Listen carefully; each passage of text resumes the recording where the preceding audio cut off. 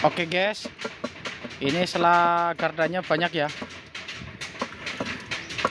Tuh, bisa dengar ya, bunyinya kuat banget.